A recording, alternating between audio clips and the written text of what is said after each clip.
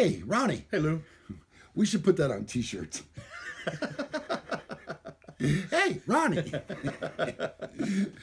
Ronnie, you've been married for a long time. I've been married for a long time. And on this episode, we're going to talk about signs you are in a healthy marriage next on Men Are So Smart.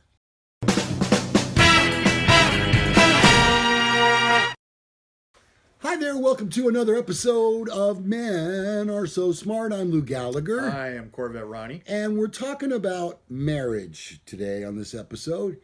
And we thought we would compile a list of some signs that show you that you either are or aren't in a healthy marriage slash relationship. For instance, number one, your spouse, in both actions and words, conveys that you are his or her equal, uh, especially in this day and age. I think that's fair. Yeah. Uh, you know, I can't imagine having it any other way. Although there are some men that I'm aware of that uh, like to be the dominant person in the relationship, yeah. and uh, they like for the other person to be more passive. Um, I'm not sure how that works exactly, but if it works for you, great. Roll with it. Yeah. Uh, the next one, it feels like you're players on the same team. Uh, it's never you against them. There are no sides. Both of you are working for the us. Well, um, I, I think that your parents in their relationship is a good indication of how you will be or not be in your relationship. And in fact, it would seem that some parents are the um, exact exact opposite example of Yes. what uh, a They good set such a bad example Yeah. that you strive to do a hundred times better. Yeah. And if that's your motivation, Hey, well, it's terrific. Roll with it. Next up, you envision the same future. And this is so key. Will you have children? You got to talk about that beforehand. Yeah. Will you travel? Do you wish to build a life in a quiet house by the water or in the heartbeat of a buzzing metropolis? Even though disagreements about dinner plans, holidays, and paint colors are inevitable, when it comes to the big matters, you are gazing onward on the at the same vision board. You know, and the way it feels for me, I'm almost married 33 years now, uh, just a couple more months. And although we did differ mm, mildly to begin with, um, you start to assimilate one another to where you are really almost, Finishing one another's sentences. yeah, you're almost one person yeah. uh, so that the things that I want, I know my wife wants the same thing. So it does get easier, I think, with time. Not everything does, but certainly your views tend to be the same. Uh, politically, that's helpful. Uh, less arguing. Yeah. so, I can't imagine a Democrat being married to a Republican. I just boy, especially in these days. wow. Um, yeah, it'd be much, much tougher. Oh, and one other thing I wanted to mention about that, I had to paint a kitchen twice, almost three times once. okay. So, so there's that. Yeah. Not three times. Uh, next up, it's perfectly safe to be your authentic self. There are no faca- uh, facades, no masks, no pressures to morph yourself into anyone other than who you are. Yeah, you know what? That that's um that's really deep in that when you first start dating someone, you only show them the side that you want them to see. Right. And that's uh, what's interesting about these people that uh, they fall in love in an instant, you know. The Bachelor TV shows. Yeah. That's so. It's so awful. because you know you're you're showing one version and that person eventually is going to see the other side behind the facade Yeah. uh, as ronnie said um, so it, not good No. Uh, number next one they empower your individuality marriage is not enmeshment it's two distinct identities with unique dreams histories personalities, and talents who have committed to moving through life alongside each other. You know that I when I was younger and in much better shape, I really enjoyed playing golf. And I would try to play I was in a men's league and I would try to play once a month and we would play at different courses. Now, my wife loved watching golf on TV, but she really had no interest whatsoever in going out on the golf course or playing or just riding in the cart. Um, so when I would play golf, she would say to me, please go have a good time. Enjoy yourself. You need to do stuff for yourself Yeah. in addition to doing stuff together. But let that other person have the other interest. My wife is hooked on Blake Shelton. Oh, yeah. I I mean, she is his biggest fan. And I could be all manly and go, oh my God, you're lusting after another Yeah. man. But you know what? It makes her her. Yeah. Vicky's a huge, beyond huge Garth Brooks fan. Uh, she had a little problem when, at first when he was going through divorce. She Yeah. thought that was a little wrong. Poor Sandy. Yeah, but she's back on board. She is willing to look past all that, and again, she's a she's a big fan. Uh, your core values are aligned. This means, for example, that if one of life's values is a meditation, yoga, sobriety, find themselves married to a person who insists upon partying their problems away, turbulence is going to be in the forecast. It's going to be Uh, there. Yes. But if all the values are in harmony, the goals will be too, and in turn, the actions. Next up, they inspire you to grow. Their love invites you to step out bravely into the world and stand taller and stretch farther and yawn wider.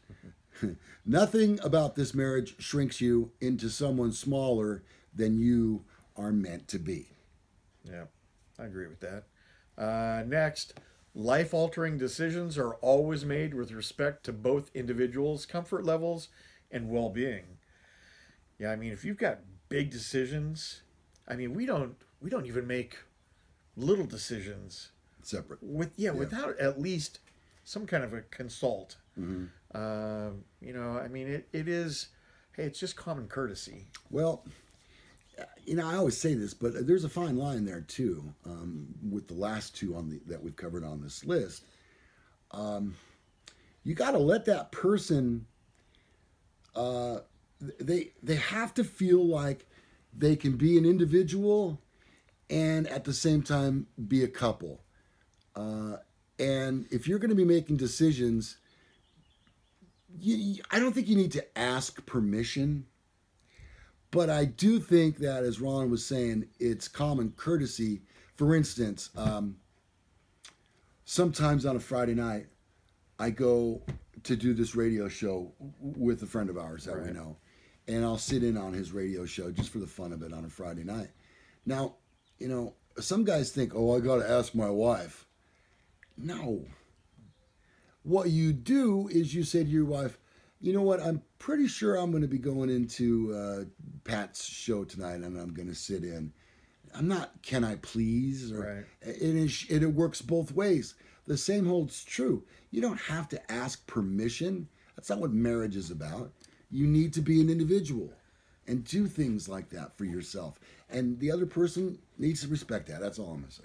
The, I'll, I'll tell you this: the first couple years after Vicky and I got married, she was working graveyard, and Monday through Friday, I would go to the Fair Oaks softball complex, and I played softball five nights a week. Oh my gosh! I was only on a team for two nights, but the other three nights I went there and would sit in the stands with Wait my for gear, somebody, yeah. and somebody go, uh, "You want to play in this next game?" Sure. All right, your name is Larry tonight. Larry tonight, Yeah, you're, okay. you're Larry. Yeah. Like, yeah, whatever. and I never had to ask Vicky. I, I mean, she was at work, so Yeah. who would care? We didn't have kids at the time, so Oh, it's a no-brainer. that's just that's respect. Yeah. You know, not asking permission. All right, their presence feels like a haven, especially when an emotional storm blows through. Ooh. You got to be a rock sometimes, Yep. and sometimes you're the wave. Yep. Sometimes you're the hammer, sometimes you're the nail. Sometimes you're the bug, sometimes you're the windshield. uh, next up, when you are celebrating, they are celebrating. Uh, when you're grieving, they're grieving. Yeah, to a certain extent. I think so. Uh,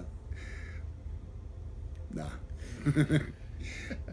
Not not always. Not always. Yeah, I, I would say not always. Uh, both parties are allowed a voice to see how fast I segued. Yes. Both parties are allowed to voice to communicate their feelings, opinions, and perspectives, and neither voice is granted more volume than the other. Except your voice is much more yeah. full of volume than, yeah. than tease. Yeah, no, that's true. I, I, I, yeah. Okay, this one though is key. Compromise is a frequent visitor in your home, and your door is always left ajar.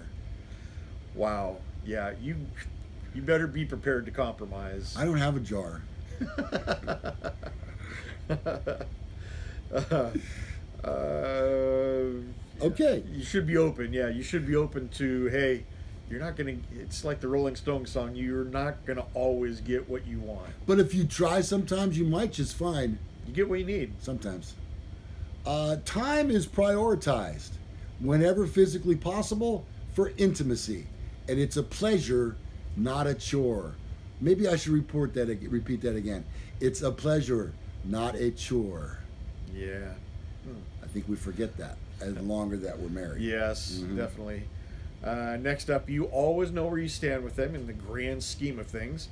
No matter how fiery the words exchanged in the throes of angst or frustration, you feel secure knowing that ultimately apologies will be made and everything will be okay. The only caveat to that would be be careful choosing your words. Yeah, because you cannot put the toothpaste back in the tube, so to speak. So once it's out there, uh, it's out there.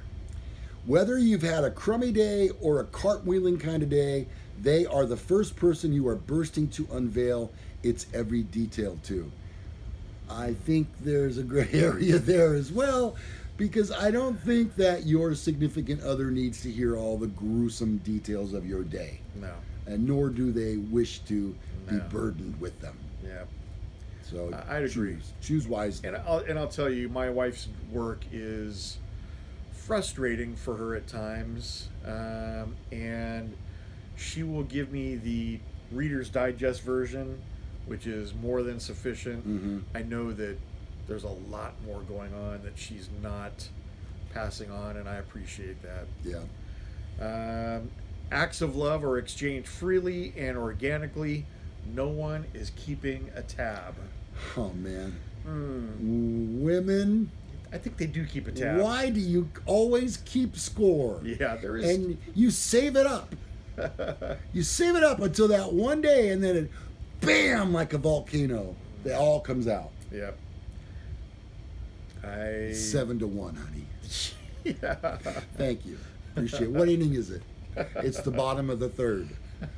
All right, let's see. Uh, you truly, you feel truly seen and known. This human bears witness to the most cobwebbed corners of you, and it feels natural and safe to be this bare bones, this vulnerable uh, be careful. Be careful because sometimes what you say can come back to haunt you. Yeah, I'm not comfortable with that. Unfortunately, I'm.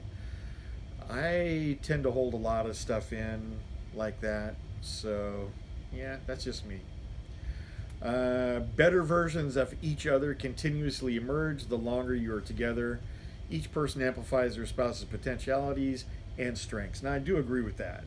I, I do think that, but there's a boy. There's there's some years in there where that's not true, but yeah, over the long haul, yeah, I think that's probably true. And finally, secrets are off limits. There are no hidden bank accounts, passwords, or relationships.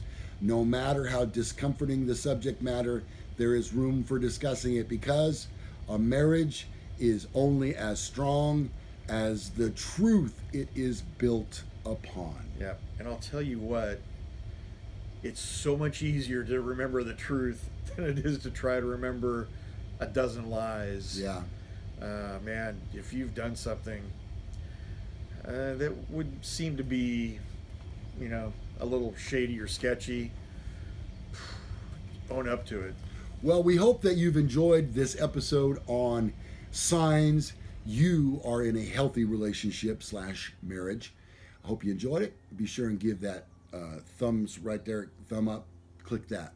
And since you're right there, if it's not too much trouble, go ahead and click that subscribe button. We would really appreciate that. A lot of, lot of bonuses come with it. And below, you'll find all of the information about us, where you can read our blogs, where you can visit us on our website, our social media, and our sponsors who make this program free. I'm Lou Gallagher. I'm Corvette Ronnie. Until the next time, this has been Men Are So Smart. See ya. Bye bye.